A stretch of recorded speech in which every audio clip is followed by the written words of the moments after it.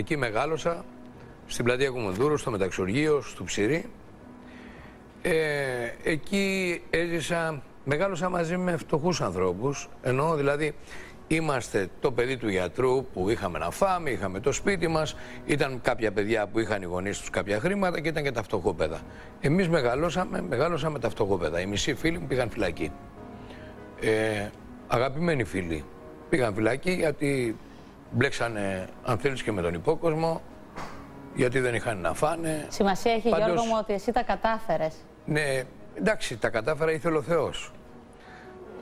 Η σχέση Τα με τη μαμά; κατάφερα γιατί ήθελε η τύχη μου, ήμουνα πολύ... Ξέρεις ποιο είναι το, το μεγάλο πλεονέκτημα που είχα στη ζωή μου, επειδή άκουσα να λένε ότι ήμουν πηγαίο ταλέντο, ήταν η εργατικότητα. Ποτέ δεν έκανα πίσω. Και κάθε φορά που είχα μια πικρία ή μια αποτυχία, το πρωί της άλλης ημέρας κοιταζόμουν στον καθρέφτη και έλεγα καινούρια μέρα είναι.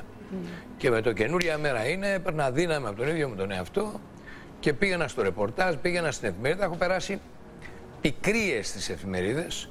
Έφτασα βέβαια στο σημείο κάποια στιγμή να δίνω δουλειά σε 540 Έλληνες δημοσιογράφους.